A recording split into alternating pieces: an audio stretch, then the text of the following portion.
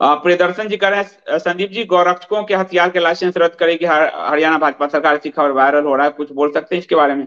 ये खबर मैंने भी वायरल देखा और ये हुआ है आपको भिवानी में एक घटना घटी है, और यहाँ पर एक जली हुई बेलेरो कार मिली।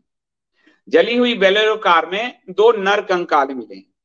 आरोप है कि ये दोनों गो तस्कर थे, और इनको ज़िंदा जला दिया गया है और इनकी पहचान राजस्थान भरतपुर के जुनैद और नासिर के रूप में हुई है और आरोप लगा है बजरंग दल पर, बजरंग दल पे। और ये बताया जा रहा है कि ये जो बजरंग दल पे आरोप लगाए वो मृतक के परिजनों ने लगाए हैं कि भरतपुर से बजरंग दल के कार्यकर्ता किडनैप करके इनको लाए और दोनों को मार दिया, दोनों गो तस्करी के शक में।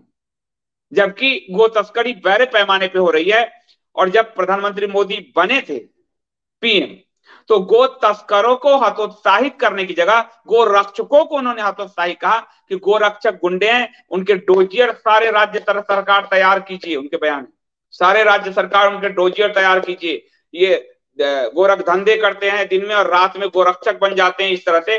उससे क्या हुआ कि गो तस्कर और ज़्यादा एग्रेसिव हुए और गो तस्करी और बढ़ा। आप खुद भी देखोगे कि इस समय बीफ एक्सपोर्ट में हम कहा हैं। नंबर वन की रेस ले रहे हैं। और अखलाक वाला जो मुद्दा यूपी का था, उसमें भी आपको दिखा, गो तस्करी का ही इशू आया था उस पर। तो इसमें आरोप अनिल, श्रीकांत, रिंकू सैनी, लोकेश सिंगला और मोनू पर लगाया गया है। इस पर ओवैसी ने ट्वीट भी किया है। तो आप ओवैसी को पार्ट टू मानो, भाजपा पार्ट टू वो हमेशा भाजपा, ये जो दूसरा आपको रिवर्स मार्केटिंग हो रहा है कि जिससे हिंदू एकजुट होते हैं तो ओवैसी जब उछल रहा है तो समझिए कि भाजपा के वोट बढ़ रहे हैं। ये निश्चित मान लो तो जुनैद और नासिर का ये इशू है।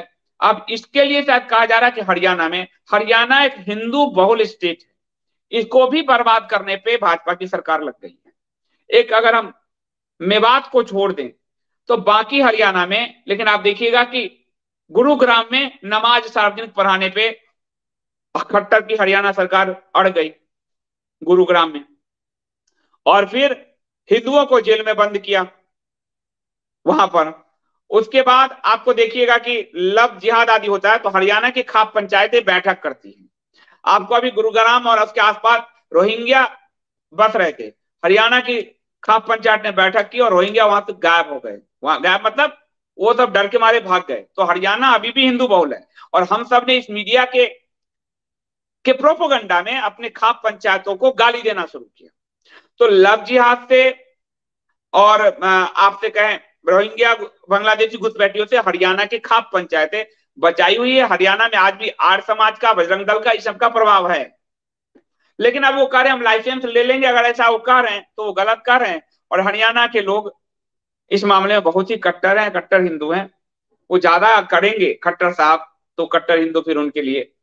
आप कानून से कार्रवाई कीजिए, जो भी अगर ये जाँच वांच हो रही है, जो भी। लेकिन गौ तस्करी को आप सब जो श्रेय दे रहे हैं, उसके कारण समाज में अराजकता पैदा हो रही है। ये प्रधानमंत्री के बयान के कारण हो रही है।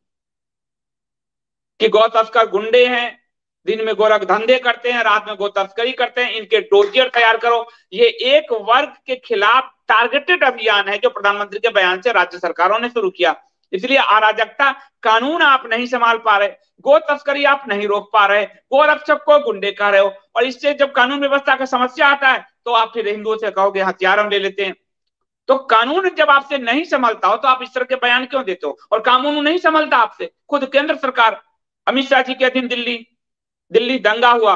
चौरासी के बाद कभी दिल्ली में दंगे नहीं हुए। इसी सरकार में हमने दंगे देखे। तीन दिन तक दिल्ली जलती रही। दिल्ली पुलिस को अधिकार दिया। कोई अधिकार नहीं। हाथ पे हाथ रख के बैठे रहने का मामला था। कितने तिरपन लोग मरे हैं दिल्ली दंगे में। किसान आंदोलन साल भर पूरा अराजकता हमने दिल्ली और आसपास के इलाके में देखी, किसान आंदोलन। उसको इन्होंने वापस लिया। शाहीन बाग आपने देखा, एनटीसीए पे, उनके डर से वो सीए के आज तक लागू नहीं कर पा रहे हैं। तो अराजकतावादियों को प्रश्रय आप दे रहे हैं, कानून को ताक पर रख के। आपने संविधान का पालन भी नहीं कर रहे। संविधान कहता है कि जिस राज्य में अराजकता हो, संविधान कहता है कानून व्यवस्था स्टेट का सब्जेक्ट लेकिन कानून व्यवस्था आप नहीं संभालने की जगह राज्य सरकारों वो अराजकतावादियों को आप प्रश्रय दे रहे हो। तो ऐसे में कानून व्यवस्था का समस्या हमेशा आएगा। आप जम्मू कश्मीर आपके पास है टारगेट किलिंग हो गई लेकिन आप उनपे बोल नहीं रहे। आप वो जो हिंदू मर रहे हो एक ज़ुबान आपकी नहीं खुल रही जरा भी। आपको किसी अखलाक के लिए रोते तो हो रोहित बमला के लिए तो रोते हो सवाना के मोच तो दिखते हैं पर यूपी में अभी दो ब्राह्मणों को माँ और बेटी को जला के मारा आप चुप रहे। जा, आप महाराष्ट्र में जो है पालगढ़ में दो साधु मरे यूपी में भी साधु मर चुके। अलग अलग घटनाओं में। गुजरात में एक महीने में पाँच हिंदुओं का, जो है, जिहादियों ने हत्या किया और एक शिव मंदिर के पुजारी का गला रेता गया। 2022 में अलग अलग घटनाओं में छह से ज़्यादा हिंदुओं के गले रहते गए। तो कानून व्यवस्था आपसे समझती नहीं। और हिंदुओं के आप हाथ रोकते हो, दिल्ली दंगे में भी रोके थे और यहाँ भी करो, लाइसेंस हम ले लेंगे। तो आप लाइसेंस लोगे तो हरियाणा के लोग बहुत ही प्रचंड हिंदू हैं और वो इस बात को बर्दाश्त नहीं करेंगे।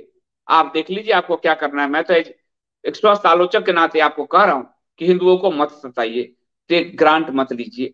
ये गलत बात है। कामाक्षी बल्ला जी बहुत बाद आप पधारी, बहुत बहुत धन्यवाद। सुदर्शन न्यूज़ ने एक वीडियो पोस्ट किया ट्विटर पर, जिसमें नांदेड़ पुलिस गौरक्षकों को पीट रही थी सिर्फ़ गौ बचाने के लिए। आपको कुछ पता है इस बारे में? कोई एक्शन हुआ पुलिस अफसर पे? हाँ पुलिस ने ट्वीट पर जवाब दिया था कि हमने आ, उनका साथ ट्रांसफ़र हुआ है पुलिस अफसरों का। तो उस पर काफ़ी विरोध था कि इनको सजा मिलनी चाहिए। ट्रांसफ़र क्यों? लेकिन जो हाँ मोटा मोटा मुझे याद है कि उनके ट्रांसफ़र हुए हैं। और ये उसी सिद्धांत को दर्शाता है कामाक्षी जी कि यथा राजा तथा प्रजा। राजा अगर हिंदू धर्म को प्रश्रय दे रहा है जैसे अशोक बौद्ध धर्म को तो सब पूरे पूरा तंत्र उसका बौद्ध हो गया। अब यहाँ गौरक्षकों को गुंडे कहा गया। तो पुलिस प्रशासन सब जगह गौरक्षक पीटे ही जाएँगे। यहाँ गौरक्षक को प्रश्रय मिलता है तो पुलिस प्रशासन आदि प्रश्रय देती जो निर्णय शासन के ऊपर के लोग लेते हैं, वही नीचे की ओर जाता, है बिल्कुल टैप की सिद्धांत है कि नल खोलने पर पानी नीचे गिरता है, भ्रष्टाचार में भी भ्रष्टाचार ऊपर से नीचे आता है समाज शास्त्र में भी इसी तरह पढ़ाया जाता है। तो वो इसी वजह से गौरक्षक सब जगह पीटे जा रहे हैं, क्योंकि शासन की सर्वोच्च सत्ता ने कहा कि गौरक्षक गुंडे हैं, ये गोरख धंधे करते हैं, दिन में गोरख धंधे करते हैं, रात को गोरक्षक बनते हैं, इसलिए पुलिस प्रशासन सब जगह उनको पीट रही है।